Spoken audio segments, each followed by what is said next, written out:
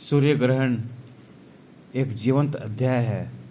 जब दो के बीच में कोई तीसरा आ जाता है तो ग्रहण लग जाता है।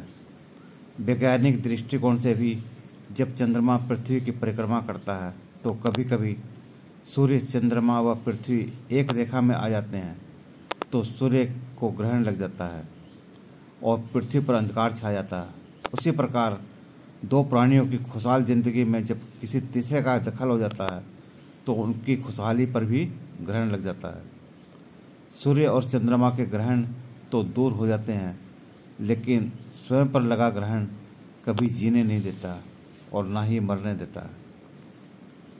किसी ने सच ही कहा है, गैरों को क्या पड़ी है, रुसवा करे मुझे। इन साजिशों में हाथ किसी आसना का है। पवन जैन जी द्वारा रचित बहुत खूबसूरत पंक्तियाँ। और सचमुच ये हकीकत